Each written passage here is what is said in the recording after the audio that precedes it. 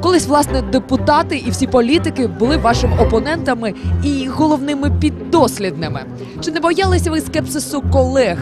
Ви знаєте, скільки багато розмов точилося навколо того, що журналісти пішли до Верховної Ради. Ви знаєте, коли був Майдан, я говорила, не калічте мені Беркут, я їм керувати буду.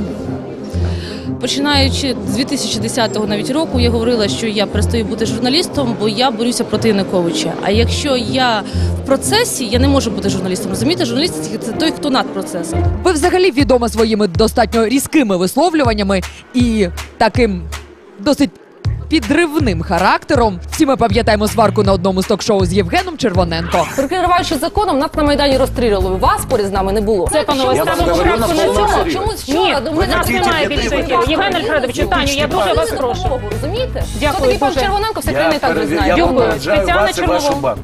Дякую. Що Е, я не перепрошую за цей бурхливий ефір. Е, е, Як вам вдається тримати себе у сесійній залі Верховної Ради? Чесно кажучи, я скажу, що я не змогла себе стримати на першому засіданні Верховної Ради, я просто розплакалася.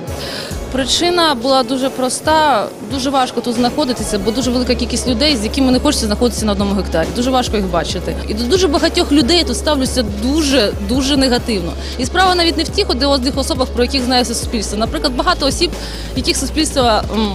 Думає позитивно, а я знаю, ким вони є насправді. Це особливо знаєте, обурює такий от цинізм, коли людина прикривається. Я не хочу зараз говорити про деталі. Перед першим засіданням Верховної Ради багато говорили про те, що 6 тисяч гривень для народного депутата це замало.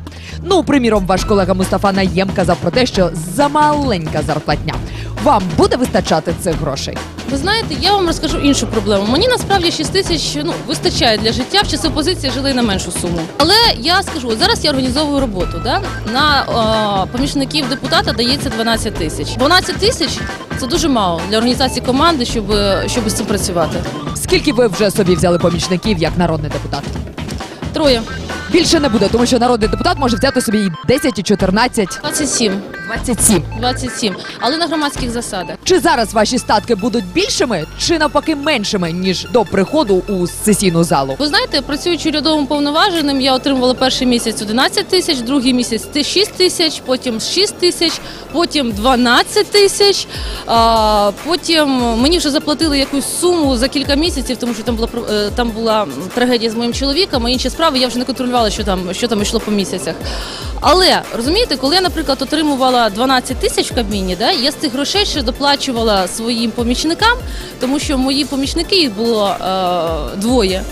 е, В Кабміні отримували по 3,5 тисячі. І, Звичайно, я би так робила і тут, якби в мене було більш ніж 6 тисяч. Ну, з 6 тисяч я не можу цього зробити, бо не проживеш. У вас двоє маленьких дітей, їх потрібно годувати. Ну, я вам скажу, знаєте, хоча це так.